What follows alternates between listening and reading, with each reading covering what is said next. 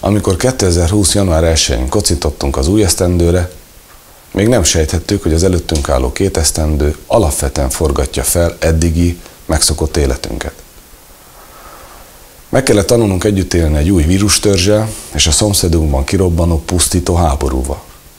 És mintha ezen történések önmagukban nem okoznának mérhetetlen fájdalmat és vesztességet, a nyomukban sarjadó gazdasági recesszióval is számolnunk kell. Rendkívül nehéz helyzetben van Európa, és benne Magyarország gazdasága, és természetesen ez kihat a magyar családokra is. Meg kellett tanulnunk, hogy sokszor csak magunkra számíthatunk, és csak összefogással lendülhetünk túl a holdpontokon.